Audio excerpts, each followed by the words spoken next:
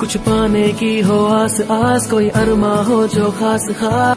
और मेजर इसको scroll down कर